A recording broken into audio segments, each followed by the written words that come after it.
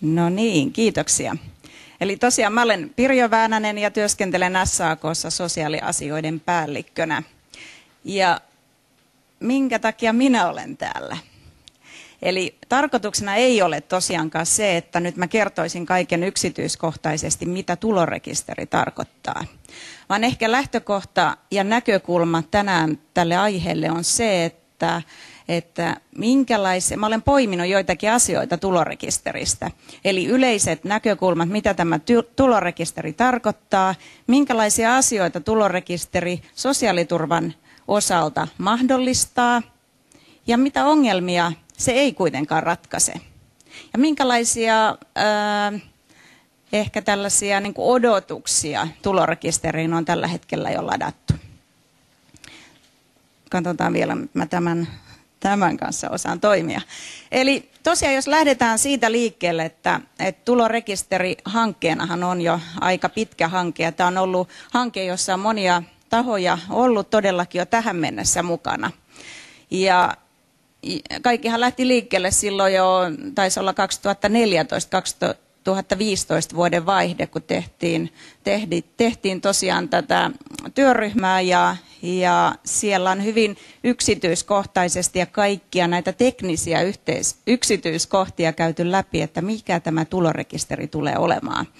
Tässä Pasi totesi jo tuossa aiemmin, aiemmin tuota päivällä tuolla, tuolla syödessä, että Joo, tämä on jäänyt vähän ehkä taka-alalle tämä tulorekisteri nyt tämä keskustelu, vai olikohan se Paula, mutta kuitenkin tässä yhdessä puhuttiin, että, että keskustelu ei ehkä olekaan mennyt eteenpäin. Että aluksi oli semmoinen tulorekisteri, hypetyskin tietyllä lailla, ladattiin paineita, mutta nyt se on vähän jäänyt, että mikä tulorekisteri, mitä se nyt lopulta tarkoittaa. Ja tosiaan tulorekisteristä tämä porukka varmaan aika paljon jo tietää. Eli tietää niin kuin sen peruslähtökohdan. Mutta ajattelin, että muutama asia tosiaan, niin kuin tässä äsken totesin, niin nostaisin esiin. Eli, eli todellakin se lähtökohta siinä, yksi asia, puhun nyt työnantajien puolesta, on se, että työnantajien byrokratiaa nyt tällä todellakin vähennetään. Jostain luin, että näitä palkkatodistuksia lähetettäisiin joku 1,25 miljoonaa, joka on aikamoinen luku joka tarkoittaa käytännössä sitä, että, että silloin kun tämä palkkatodistusten lähettäminen eteenpäin etuuden maksajille esimerkiksi ei toimi, niin silloinhan se vaikuttaa siihen kansalaiseen. Ja tässä nyt esimerkkinä vaikka, vaikka työttömät, eli jos sitä sitä työssäolon aikaista palkkatodistusta ei saa silloin kun pitää, niin, niin silloin joudutaan ongelmiin. Joudutaan ihan käytännön ongelmiin ja joudutaan myös ongelmiin siinä, että, että etuuden maksaja ei voi määrittää sitä etuutta, jos ei tiedä niitä tarvittavia tietoja. Ja tätä kautta tämä tulorekisteri totta kai se, se sekä helpottaa sitten työnantajien tätä, tätä byrokratiapainetta, eli kun kaikki tiedot, palkkatiedot ei enää lähetettäkään erikseen erilaisilla kuukausiilmoituksilla kautta vuosiilmoituksilla eteenpäin, vaan tiedot kerätään yhteen rekisteriin, niin totta kai se helpottaa silloin sitä käytännön työtä työnantajan puolesta. Ja se helpottaa siitä työntekijöiden osalta sitä, että, että todellakin niitä ei tarvitse sitten erikseen pyydellä niitä palkkatodistuksia jäädä, jäädä siihen loukkuun sitten etuuden osalta myöskin. Ja tässä tulorekisterissä tosiaan nyt tässähän on kaksi vaihetta. Eli tarkoittaa käytännössä sitä, että ensimmäisessä vaiheessa ensi vuoden alusta alkaen sinne kerätään tulotietoja.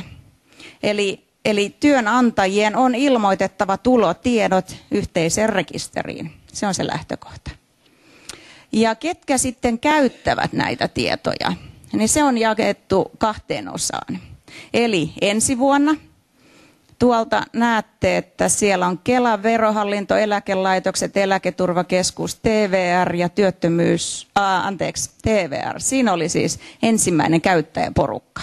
Eli he voivat hyödyntää sitten suoraan rekisteristä tietoja. Toinen porukka tiedon käyttäjissä on sitten seuraavan vuoden alusta alkaen, eli 2020. Ja siellä siis laajenee todellakin sitten eri tahoille mahdollisuudet ja viranomaisille sitten käyttää tätä tietoa. Ja myös niin, että sitten vuonna, vuonna 2020 alkaen niin näitä henkilöiden etuustietoja myöskin kerätään tähän samaan rekisteriin. Eli silloin meillä on rekisteri, jossa on sekä tulotietoja että etuustietoja. Ja totta kai niin kuin sillä logiikalla, että, että kun täällä sosiaaliturvan puolella on erilaisia etuisuuksia, erilaisia tarpeita sille tiedolle, niin nyt ne tulisivat täältä helpommin tämän rekisterin kautta. Totesin, että tälle on asetettu aikamoisia paineita ja odotuksia silloin aikaisemmin erityisesti tälle tulorekisterille. Ja mä keräsin tämmöisiä suoria lainauksia tuolta, tuolta tuota mediasta, että mitäs kaikkea mediassa on sanottu. Eli nyt kun tulorekisteri tule, tulee, niin pelko ylimääräisestä byrokratiasta, etuuksien viivästymisestä jää kokonaan pois. Ylimääräinen paperirumpa jää kokonaan pois. Sitten tässä nyt on helpompi luoda järjestelmä, jossa työn vastaanottaminen on aina kannattavampaa kuin tulosiirtojen varassa eläminen. No, jossakin kohtaa kuitenkin todettiin näin, että, että rekisterillä sitten voidaan siirtyä tulevaisuudessa tuohon reaaliaikaiseen verotukseen ja sosiaaliturvaan. Ja tästä ei tosin ole vielä tehty päätöksiä. Ja mä itse niin olen joskus tässä matkan varrella hämmentynyt sitä, että nyt sitä on niin ajatusta, että nyt tulee tulorekisteri ja pelastaa kaiken. Hmm. Mutta tämmöisiä es- esitetty todella matkan varrella, mutta näinhän se ei tosiaan ihan ole. Totta kai me saadaan sieltä paljon hyvää, hyvää yksinkertaistamista. Mä luulen, että ja uskon itse vahvasti siihen, että, että niin semmoinen suuri massa nyt helpottuu näistä etuuspäätöksistä tämän kautta. Ja tosiaan, jos mietitään nyt erityisesti vaikka työttömyysturvaa, niin totta kai se tarkoittaa sitä, että, että etuuden maksajien on helpompi ja nopeampi tehdä päätöksiä, jolloin se helpottaa totta kai sitä, sitä kansalaista ja työtöntä itseään. Muutama kohta täältä tietojen ilmoittamisen osalta. Eli, eli täällä on ehkä nyt se vastaus, että minkä takia nyt ei sitten kaikkien tämä, tämä tulorekisteri tuo vastausta tai helpotusta myöskään sosiaaliturvan osalta. Niin siellä on tietojen osalta tosiaan velvoite työnantajille, että työnantajan pitää ilmoittaa palkkatiedot pääsääntöisesti maksupäivä plus viisi päivää. Eli tarkka aikaraja silloin, että, että milloin, milloin tosiaan rekisterissä on tiedot oltava. Siellä on joitakin muitakin aikarajoja, mutta pääsääntöisesti siis näin. Ja työnantajat, heille on niin sanottusti määritelty pakollisia tietoja. Eli, eli ne tiedot, jotka nyt tosiaan korvaa nykyiset vuosia kuukausi-ilmoituksen näille eri tahoille, niin palkkatiedot on tosiaan annettava niin kuin tähänkin asti. Eli sama tieto, mitä on nyt eri tahoille laitettu, niin sama tieto laitetaan tänne tulorekisteriin. Sitten meillä on tulorekisterissä tämmöinen paketti kuin täydentävät tiedot, joka tarkoittaa käytännössä sitä, että nämähän on vapaaehtoisia työnantajalle ilmoittaa täältä tulorekisterin kautta. Mutta tämä kohta sisältää paljon semmoista tietoa, mitä tarvitaan esimerkiksi tänä päivänä työttömyyskassoissa. Mä nyt otan työttömyyskassat tässä esimerkiksi, niin tota, sen etuuden maksamiseksi. Ja tästä nyt esimerkkinä erityisesti soviteltu päiväraha. Ja nyt jos me mietitään tätä, että työnantaja nyt toimisi niin, että laittaa pakolliset tiedot, ilmoittaa pakolliset tiedot, mutta ilmoittaisi myös näitä täydentäviä tietoja. Mitä enemmän työnantaja suoraan tänne rekisteriin täydentäviä tietoja antaa, niin sitä niin kuin helpommaksi tämä homma niin sanotusti tulee. Eli jos työnantaja ei ilmoita näitä tietoja tulorekisteriin, niin niitä joudutaan kuitenkin sitten työnantajalta erikseen pyytämään. Esimerkiksi paperilla. Niin sitten me ollaan siinä tilanteessa, että, että mikä on sitten tulorekisterin hyöty lopulta. Ja hyöty tästä koko järjestelmästä määrittyy nyt sitten sen kautta, että miten näitä tietoja rekisteriin ilmoitetaan. Sosiaali- ja terveysvaliokunta, kun käsitteli tätä tulorekisterilakia tuossa, tuossa, tuossa viime vuoden syksyllä, niin, niin valiokunnan mietintöön kirjattiin tällainen kohta, että, että sosiaaliturvaa jatkossakin kehitettävä ensisijaisesti sosiaalivakuutusjärjestelmän omista lähtökohdista – kuten kansalaisten tarpeista järjestelmän eri osien tarkoituksenmukaisuudesta, eikä sen vuoksi, että, että, tota, että se liittyy tähän tulorekisterin tietosisältöön. Ja tämä nyt sitä, sitä tavallaan sitä arvoperustaa ja sitä, että mi, mihin tämä nyt tämä tulorekisteri antaa vastaukset ja mihin se ei anna vastauksia tämä ei nyt kaikki muutu, kun meille tulee tämä tulorekisteri, vaan erikseen STMssäkin on paljon erillistä lainsäädäntöä, erillisiä hallituksen esityksiä liittyen vaikka, vaikka työttömyysmaksu, äh, työttömyysvakuutusmaksujen perintään, liittyen äh, siihen, että, että tuota, meninkö mä jonkun? Menin, joo. Mä mietin, että joku täältä puuttu välistä.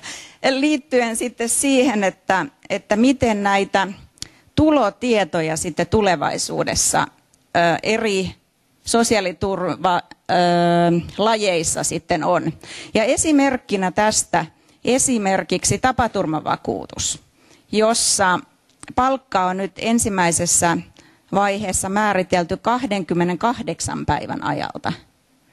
Ja kun tänne tulorekisteriin ei nyt sitten kirjata niitä työaikatietoja, vaan palkkatietoja, niin ei se välttämättä se 28 päivää sieltä putkahda suoraan, ja sen takia on jo suoraan muutettu hallituksen esitys, jossa hallituksen esitys on valmisteltu, jossa tosiaan tämä nyt saataisiin toimimaan suoraan tämä tulorekisteristä saatavien tietojen perusteella.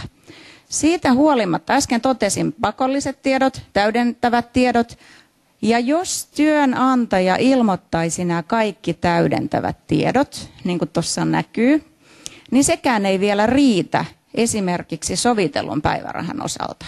Sinne jää vielä katvealueita joissakin tapauksissa. Eli niissä tapauksissa, että, että on palkattomia jaksoja, niin, öö, öö, niin, niin. On siis poissaoloja, onko palkattomia vai tuolla, tuolla lukee, että palkallinen ja palkaton poissaolo sinne saadaan, mutta siellä on joitakin katvealueita tosiaan, johon tämä ei tule, nämä täydentävätkään tiedot sitten, sitten tuota, vastaamaan.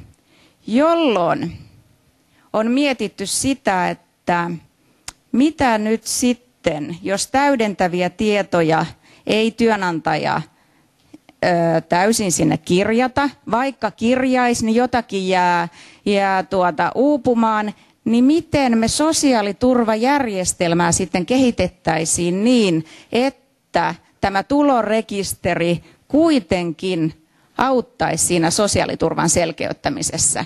Eli pelkästään se rekisteri ei auta, vaan edelleenkin lainsäädäntömuutosta. Ja me ollaan, mä tykkäsin tuosta Pasin esityksestä ja siitä arvopohjapohdiskelusta ja siitä, että, että miten sosiaaliturvajärjestelmää, sosiaaliturvaa ylipäätänsä pitäisi kehittää. Nehän on arvovalintoja monet tähän liittyen. Ja jos me mietitään, tai Pasi esitti myös kysymyksen siitä, että nyt kun nämä sosiaaliturvan kehittämiseen liittyvät esitykset ovat keskittyneet perusturvan kehittämiseen, niin onko muita esityksiä? Kyllä. Sosia- myös ansioturvan puolella on kehittämisesityksiä. Ja meidän näkemyksen mukaan tämä syy- ja ansiosidonnainen ö, turva pitää säilyttää, mutta se vaatii myös kehittämistä.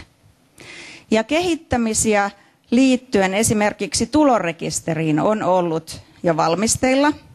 Ja yksi esimerkki siitä työssäoloehdon mahdollinen euroistaminen, joka tarkoittaa käytännössä siis sitä, että, että nyt kun työssäoloehtoon vaaditaan työehtosopimuksen mukainen palkka ja 18 tunnin työ per viikko. Ja tulorekisteristä nyt, kun me ei saada suoraan sitä, sitä tietoa siitä, siitä tehdystä työstä, niistä tunneista, Niin mitäs jos me sitten yksinkertaistettaisiin sosiaaliturvaa niin, että se pelaisi paremmin tämän tulorekisterin kanssa?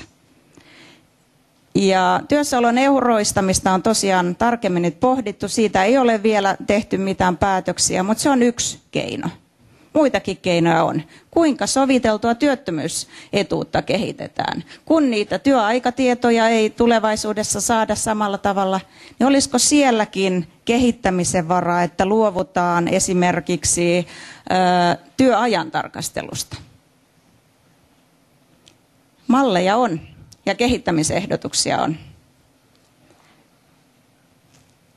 Näihin sanoihin haluan päättää. No niin.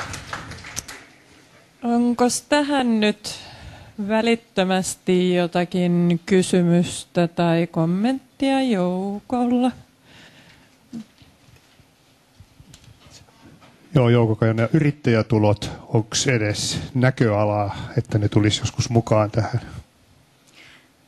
Tähän tulorekisteriin. Mä en osaa valitettavasti vastata, mutta en ole ollut itse missään pöydässä, että, että, että olisi näkyvillä tällainen. Meillä oli toimihankkeen puitteissa, toimihankkeen seurantaryhmässä yrittäjäjärjestöt mukana, niin me ollaan tavattu tulorekisterihankkeen vetäjänä yrittäjäjärjestöt keskenään. Me ollaan niin keskusteltu tästä, että siitä ei ole ainakaan hankkeen vetäjän mukaan ei ole tehty päätöksiä ja me käytiin tämmöistä alustavaa keskustelua, että mikä voisi olla se tapa. Oliko positiivinen, negatiivinen? Se oli ratkaisuhakunen, mutta ei päädytty vielä mihinkään.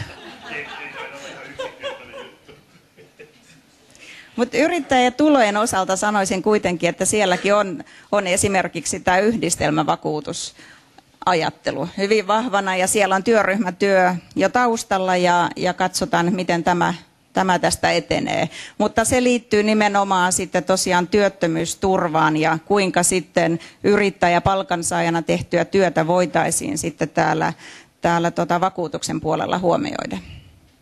Niin mä ajattelen, että varmaankin tässä nyt yksi sellainen tavoite, jossa miettii Merinkin esitystä, niin on ehkä kuitenkin erilaisten työsuhteiden ja toisaalta sitten myös sen yrittäjyyden, ehkä jopa mikroyrittäjyyden ja sitten niiden tulojen yhdistäminen sosiaaliturvaan jollakin tavalla järkevästi, niin tästä eikö, ei ilmeisesti ole sitten tulorekisteristä tähän odotettavissa, niin kuin, et, se ei sitä missään olosuhteessa ratkaise, ne on poliittisia päätöksiä, miten se lainsäädäntö siihen tehdään, mutta et jos siis ajattelee tämmöistä käytännön toteutusta, niin tähän voisi maallikko kuvitella, että tämä tulorekkari voisi olla kauhean hyvä työväline.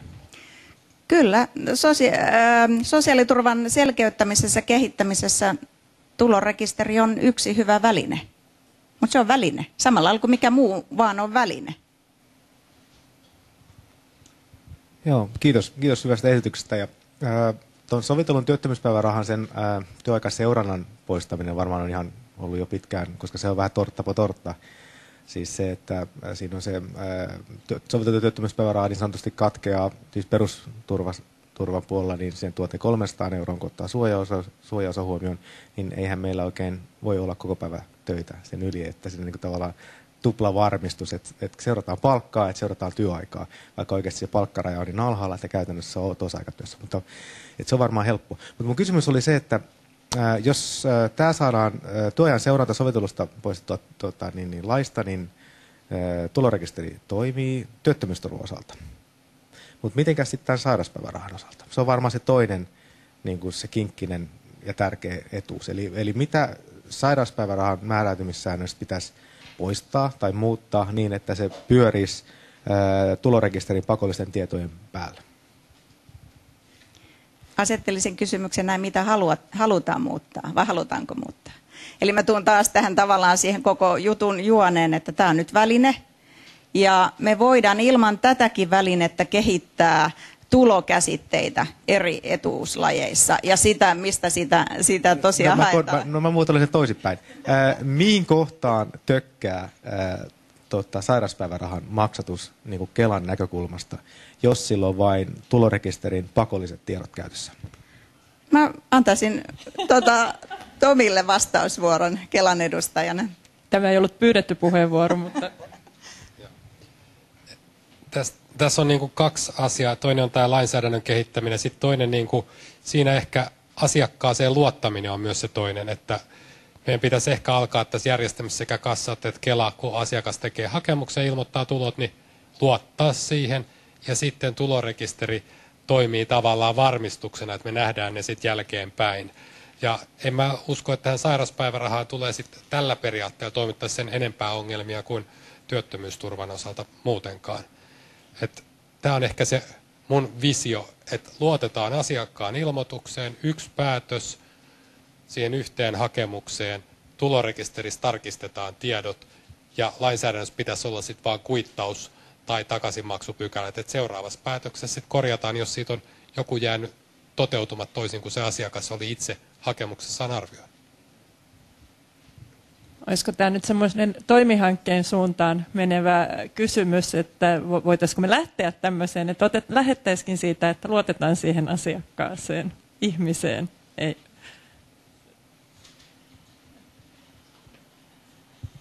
Ihan tämän suuntaista on nimenomaan tässä pyöritelty ja pohdittu ja, ja olisi erittäin kiinnostavaa esimerkiksi on, olisi hyvin tärkeää saada tämä lyhytaikaisen työn vastaanottaminen kaikin keinoin niin kuin järkevämmäksi ja, ja huoli siitä, mitä tapahtuu, kun sen tekee, niin pois.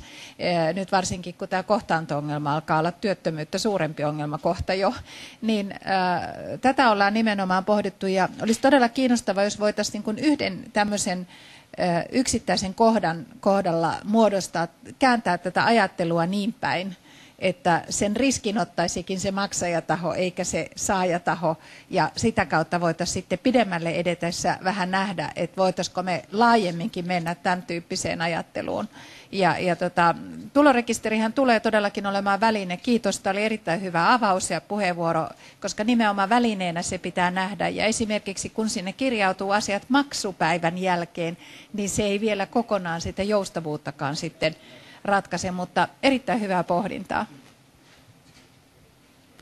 No niin, haluatko vielä Joo, vastata? ihan pieni tähän luottamukseen liittyen. Tosiaan tämä mun mielestä tämä luottamus on hirveän hyvä lähtökohta tässä koko kehittämisessä ja laajentaisin tämän luottamuksen esimerkiksi työttömyysturvan karensseihin.